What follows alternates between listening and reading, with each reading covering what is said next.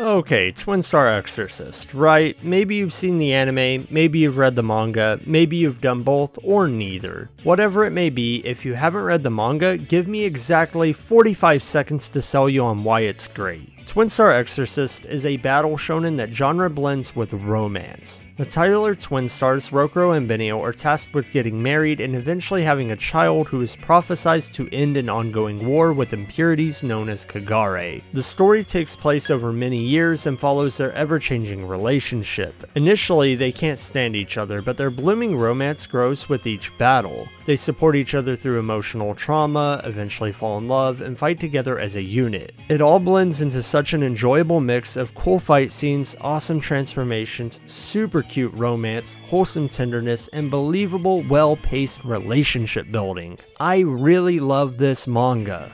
I wanted to summarize its appeal for two reasons. For one, I'm about to spend half an hour tearing apart the adaptation to one of my favorites, and I want newcomers, as well as those who have only watched the anime, to know that they should still read the manga. Barely any of the anime is canon, and only a mere sixth of the manga's current story is adapted, so the only way you're going to get the full picture is by reading it. For two, I want you to know that none of what I said matters when it comes to the adaptation, so throw it out the window because if you don't, the anime surely will. If my description of the manga doesn't sound enticing, I get it. None of this is to say that it's for everyone, nor that it is perfect. Still, it's startling just how bad the anime is at capturing what made the manga special to me. The anime has a decent score on MyAnimeList, and plenty of people seem to like it enough to give it at least a 7 out of 10. The manga also has decent reception, but there's also not as big of a gap as I would expect because, like many of its biggest fans, I loathe the anime. If I weren't making a thoughtful analysis, I would be yelling obscenities into my microphone, but my scathing critiques will have to suffice. I have seen my fair share of bad adaptations. I'm a Berserk fan for heaven's sake, so I know the struggle. Yet few have annoyed me, made my skin crawl, or insulted what I value as much as this one. There are many reasons for why it has left such an awful aftertaste in my mouth, but if I had to pinpoint the main contributing factors for this being one of the worst adaptations I've ever seen, it would be the story is unapologetically vapid, the production value can be flat, the framing of battles is beyond lame, the characters are grossly misrepresented, and the romance of my favorite couple is gutted. Most of my issues with the anime, be it adaptive problems or wholly original, are rooted in one of those five points. The manga is not necessarily carried by its story, it's the type of narrative that serves as a vessel, but that's not a detriment, so long as it does its job in delivering great character moments, engaging conflicts, and natural pacing. That isn't to discredit what the story is capable of achieving within that purpose. There's an entertaining overarching story, one that takes its time in revealing all of its secrets without dragging out its ideas. Snappy pacing keeps things rolling, never allowing conflicts to get stuck in the mud while letting characters grow and change at a believable rate. It doesn't always make a push for the end, but it's far from aimless. Arcs are paced just right so that meaningful progression can be made and new ideas can be implemented before the well ever dries up. The first arc lasts all but 5 volumes, planting the seeds for character motivations, central conflicts, and romance. This is my least favorite part of the manga, but it does a surprising amount of legwork for the arcs that succeeded. It. Without any time wasted, it gives all the reasons to care about these two and their story moving forward. The second arc is when things get exciting, and I started to notice how much I loved Twin Star Exorcist. Everyone ages up by two years, a fan favorite character is added, the lore is deepened, there's a great climactic battle, and it makes a massive push for romance.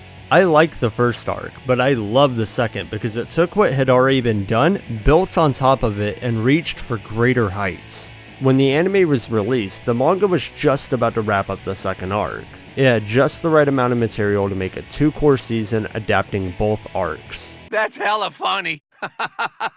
Unfortunately, the anime is 50 episodes, and it, for reasons beyond me, doesn't adapt the second arc. Everything that was worked up to in those two arcs is minimized to a half-baked retelling of what I think is supposed to be the first arc. Forget adapting the second arc, it couldn't even get that far before butchering the story to hell and back.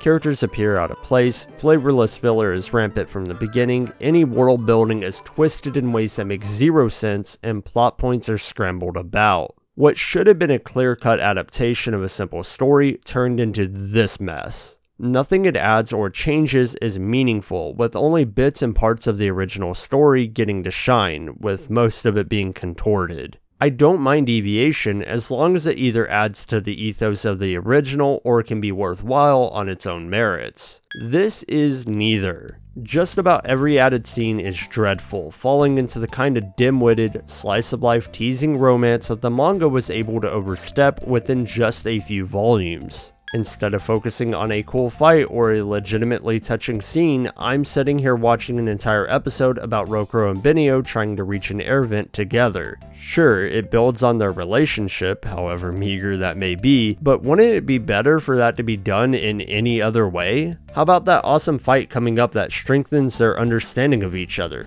Are we just gonna put that on hold for an air vent? It seems so.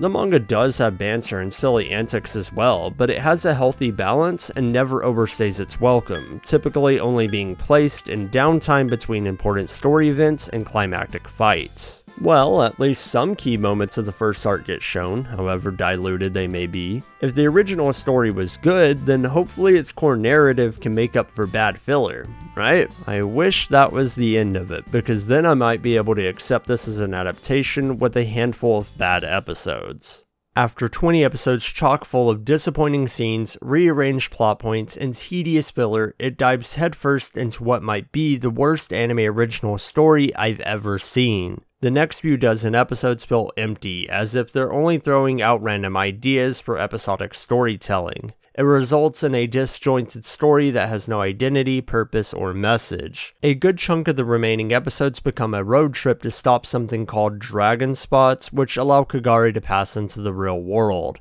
Typically, nothing of consequence happens for entire episodes until a 12 Guardians member shows up to help clean up the mess in the least impressive way. There's a child Sai added into the mix during all this, and frankly, I have never cared less about a character. She's supposed to be building a bond with her questionable foster parents. I mean, come on, they're 16. But I've seen Sims build more relatable relationships with their children than this. I almost wouldn't mind her addition if she wasn't so flavorless and, more importantly, didn't act as a piece of rubber between Rokuro and Benio's connection. Their relationship progress is at its slowest during this arc, while she's eating up all the screen time. Eventually, there's a big, dramatic moment with her character, and when seeing it for the first time, I felt nothing but annoyed that this throwaway plot had gotten more attention than any of my favorite moments from the manga. You know, the story I actually care about. After episode 30, it seemingly attempts to get things moving, but it's still plagued with episodic fights that have zero impact and lukewarm backstories for characters that don't have enough relevance in the anime to matter. It all comes across as a fruitless effort. Nothing fun happens, no character growth takes place, and not a single conflict sparks even an ember of interest in me. To cap off a painfully mediocre story, the ending is abysmal. With all the powerful, interesting characters being taken out of the story, all that's left to confront the final battle are Rokuro's dorm mates, characters who I would struggle to tell you the names of. I kid you not, their inclusion starts and ends with them lining up to be taken out by random projectiles. Mere cubes. Not antagonists, not villainous Kagare, cubes.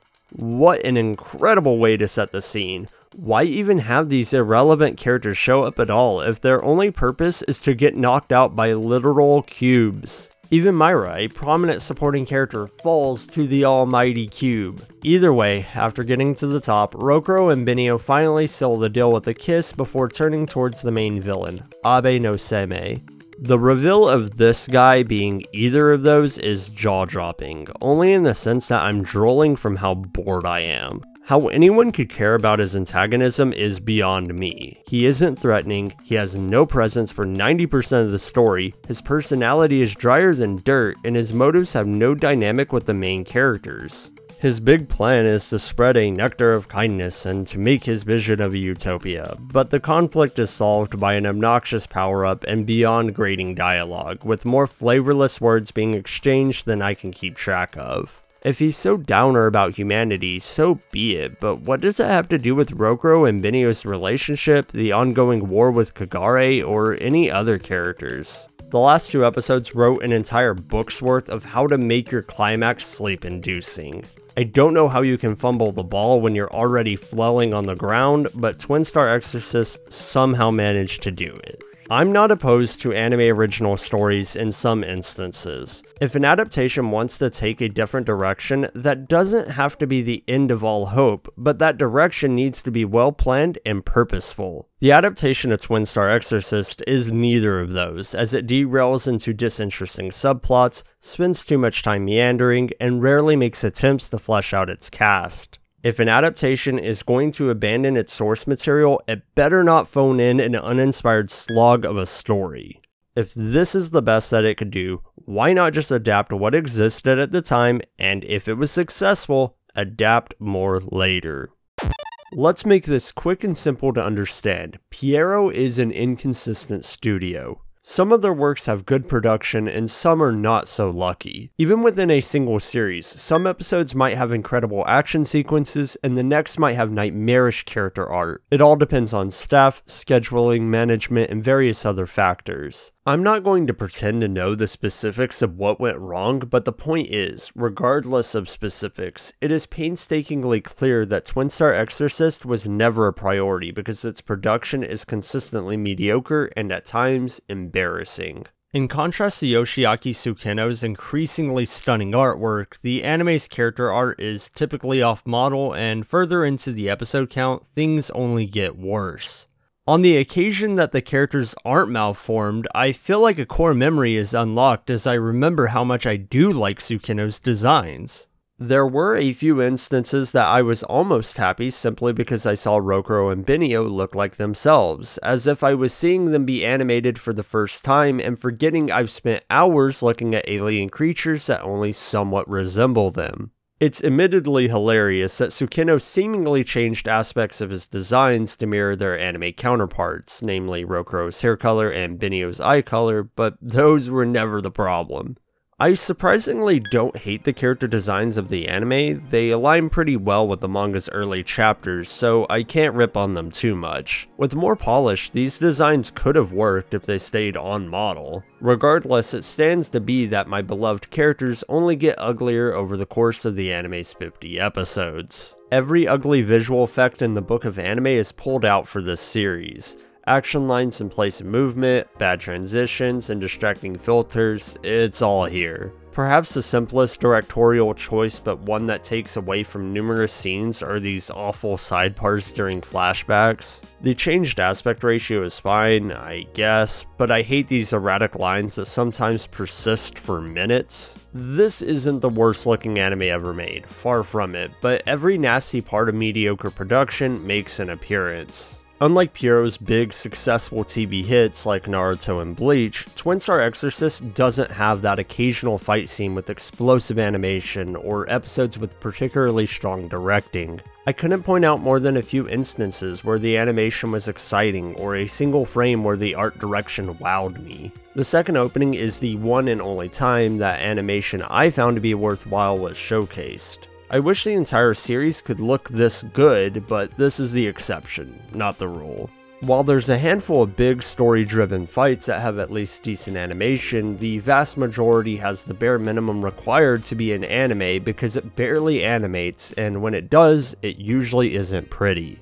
The fights somehow manage to make the flow of animation more stilted than manga panels, and there's a plethora of cheap visual effects and ugly filters. Worse yet, the art direction has no stylistic flavor or personality. At least in the case of a series like JoJo's Bizarre Adventure, which also doesn't usually have top-notch animation, the sound design, art direction, and impact of each attack more than makes up for the somewhat stilted movement. Even if the story stringing these fights together was good, I don't know how excited I could be when this is the presentation we're working with.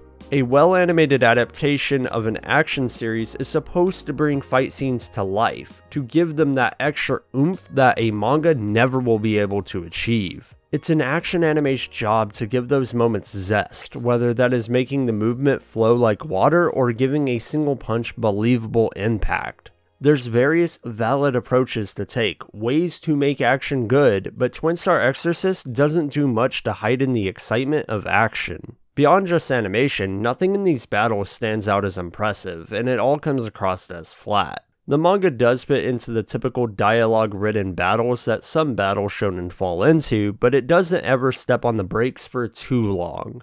It helps that the character conflict is well written, so battles can still be engaging during the intermedium of action, a benefit the anime certainly does not have. The downtime in the manga is more acceptable because it's both engaging as a dramatic story and surrounded by impressive artwork. When blood does start spilling, there's more than enough ink flying across the page to make the next 40 exciting. The power system is not the most dynamic, nor are the battles ridden with complex strategies, but the combat usually has fairly smooth flow and some stunning panels to communicate attacks. Nothing about exorcism or spell power is as intricate as some of my other favorites, but it provides plenty of lore to sink your teeth into, flashy moves that fill entire pages, a wide variety of abilities for characters to use, and awesome transformations, especially in later arcs that will probably never be blessed with a faithful adaptation. In contrast, the anime feels undercooked. It's blatantly obvious that this adaptation only uses the beginnings of a power system, and to its detriment, most of those awesome moves and transformations will never see the light of day. The power system is left to collect dust for dozens of episodes, with anything new only occurring towards the end. Even if it had to go in a different direction from the manga, I would prefer that over watching the exact same attacks endlessly. Maybe give Rokuro some fire breathing powers or something I don't know, man. What I'm trying to say is that Twin Star Exorcist isn't the best action manga, but it has enough going on within its battles to keep me interested, which is more than what I can say for the anime where in action, battles are limited by lackluster production, boring directing, and uninspired combat. Out of action battles are limited by exceedingly weak writing and characters standing around giving sleep-inducing monologues for entire episodes. What this adaptation needed to do was capitalize on the ferocity of those panels, give the direction that needed zest, pick up the pace to a more reasonable speed, develop the power system a tad more, and to make attacks feel big and powerful. Its fault isn't merely poor animation, it's that nothing is done to make up the difference. However, it doesn't end at the story being ruined or the action sucking all the joy out of watching a battle shonen. We've yet to get to the worst part about this adaptation the characters have been flanderized beyond recognition, or in the best cases, they are mere shells of their manga selves. What baffles me is the inclusion of the 12 Guardians. Not only do they have little impact on the story, the story does little to influence or change them. This is partly because by 30 chapters into the manga, they collectively had not seen any page space beyond a few teases in Shimon's early edition. It cannot be expected for their anime stories to imitate the manga, because those stories simply didn't exist yet, but that begs the question, why even introduce characters that have yet to have their stories written, only to then not tell an original story with them either? These characters are just there as figures to fill a room. Even more prominent guardians, like Shimon, hardly leave a mark on the show, which is especially egregious because his story could have at least been partly integrated into the anime, considering his large role during the second arc, even if that arc wasn't fully adapted yet he does next to nothing. Each and every one of the 12 Guardians is underutilized, but the mishandling of Shimon has no valid excuse. I understand that these characters had yet to receive much development in the manga, but this is a problem that the anime could have rectified by either adapting the story properly and in smaller chunks,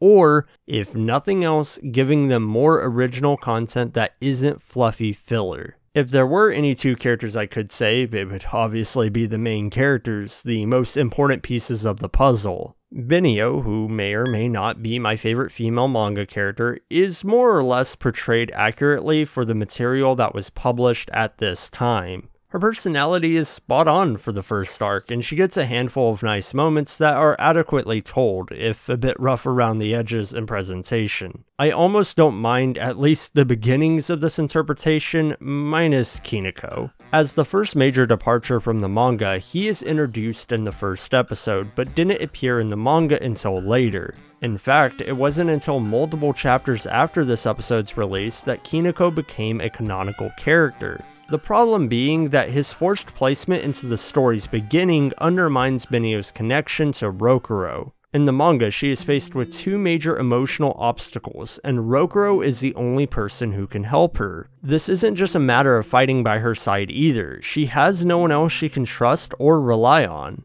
She is, for the most part, entirely alone. Her growing feelings towards Rokuro are defined by her realizing that someone else is willing to shoulder the burden with her. Initially, Benio is a somewhat cold, emotionally despondent girl who is only able to open up through his help.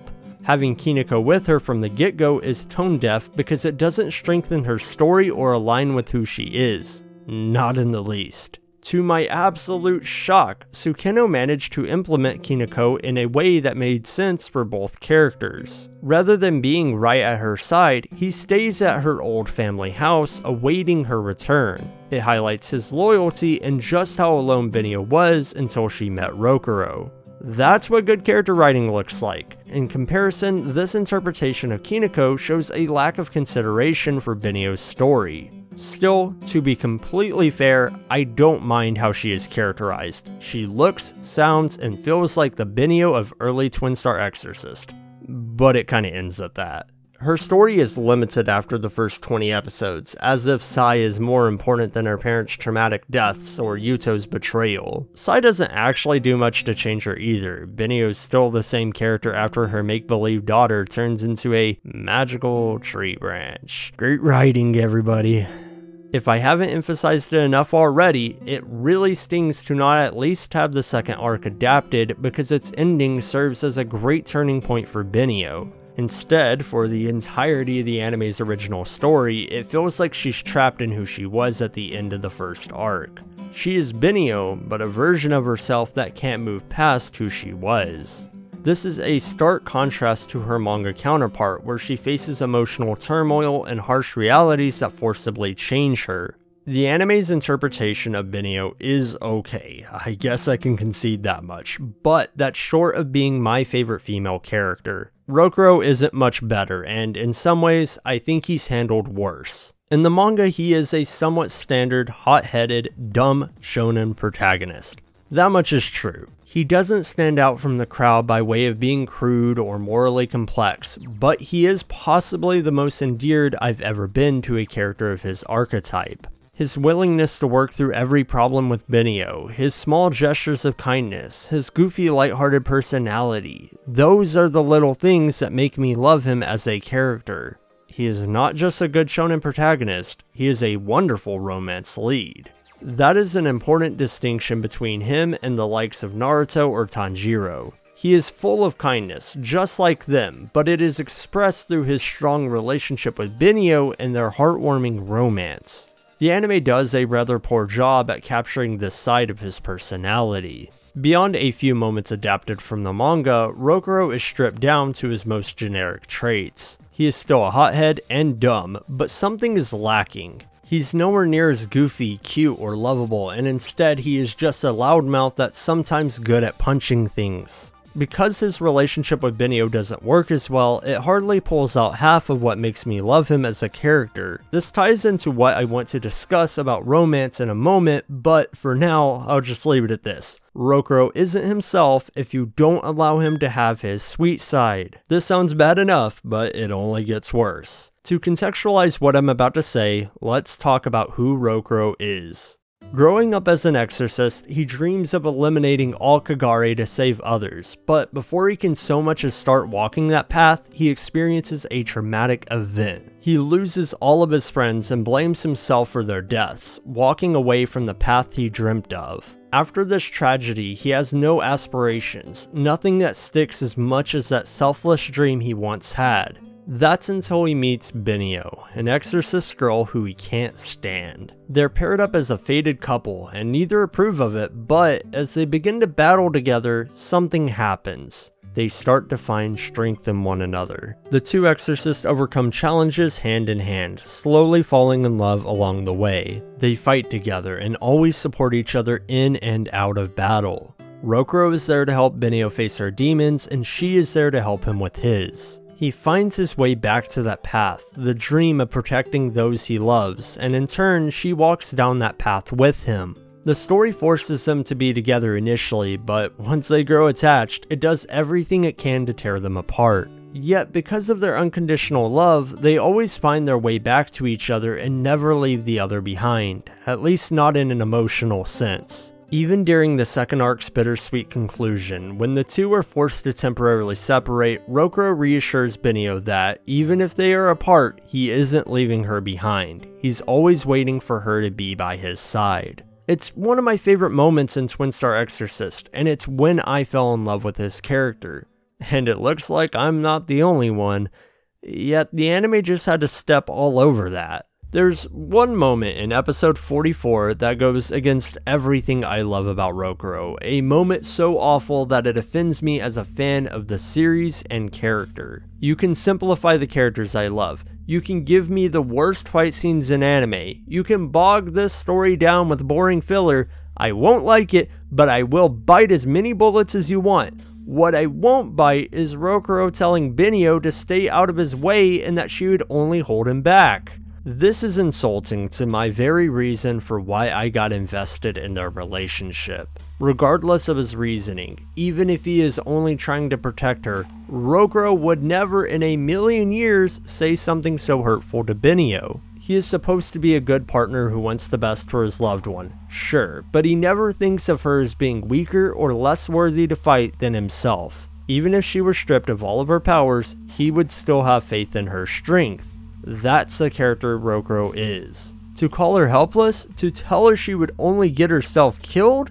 The real Rokuro would never. His answer would be to train together. His answer would be to strengthen himself so that he can help Benio in the fight. His answer would be to believe in her strength. His answer would be to protect her on the battlefield, not to leave her in the dust of his own selfish actions. This is a fight with Yuto, her brother. She has every right to join Rokuro in battle, but this fraud of a character is too concerned with her lack of strength.